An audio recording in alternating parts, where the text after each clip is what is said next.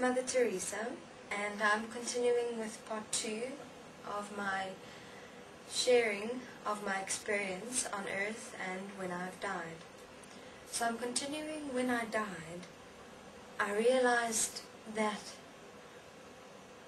the God that I believed in, the God that I trusted, the God that I placed my faith in, the God that was my strength, the God that was my support, the God that I believed supported me in this world with everything that I'd seen and with everything that I'd experienced does not exist. That in truth, I am all that. I am support. I am strength. I am trust. And I alone am, am able to stand as God, as one, as the image and likeness of God in this world, as one and equal with and as God, and that I am not separate from myself. I realized that the religion of Christianity, or the religion of God, or the religion of any faith in this world that has a God that exists separate from each human being is in truth the God of ourselves. That we are that. We are all that. And that we have separated ourselves through such beliefs and through such faiths. It was quite a shock for me to realize when I died because I dedicated and committed my entire life. I defined myself as who I am according to serving God. Serving God, an expression separate from myself.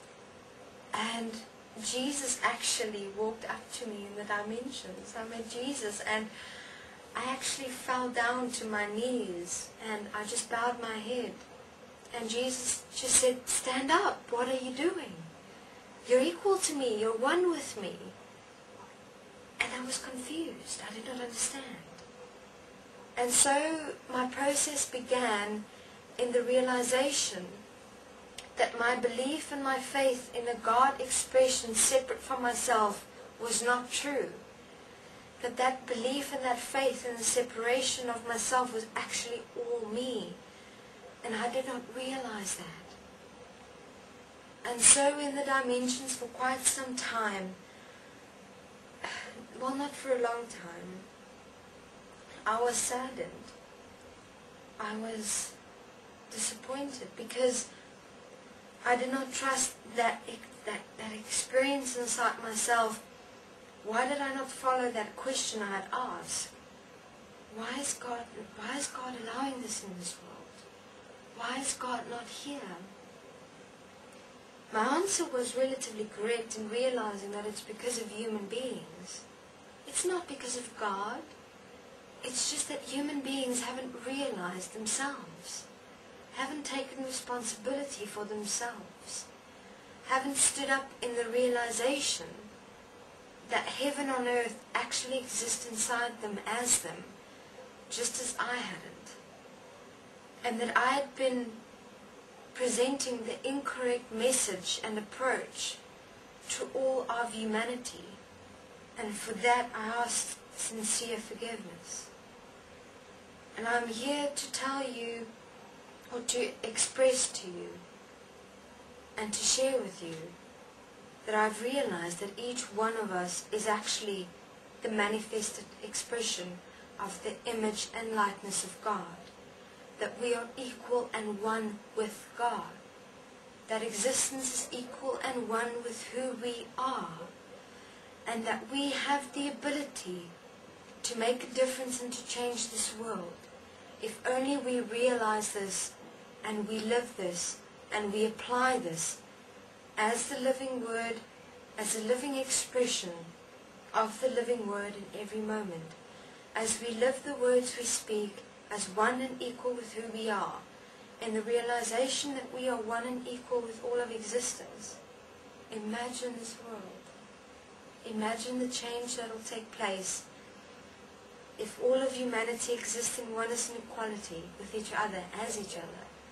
Yet we all exist in our individual expressions within oneness and equality. It's not that religion has failed. It's that religion has never been lived and applied. It's that human beings have not realized the words, in the beginning was the Word, and the Word was God, and the Word was with God. We are the living Word. We are but words. We are words communicating. The words we speak is a reflection of who we are. Now imagine if the words we speak as I communicate with you, that we live these words as one with who we are. Imagine the expression in this world. That would make the difference. That is the answer. We are the answer to change this world. And that is what must be realized. And that is what I'm coming here to share. I, as Mother Teresa, to have you realize that we are required to stand up. We have the ability. We are required to wake up. We have the ability. We are required to stand up. We have the ability. We are required to take responsibility. We have the ability. We in the dimensions have stood up and have taken responsibility and are here now through this interdimensional portal communicating to you to speak as the living word is one with who we are to have human beings realize if we as, re- as we have realized the oneness and equality of who we are and each one of us are. This is Mother Teresa saying hello and goodbye for a moment and to take what I've spoken into consideration.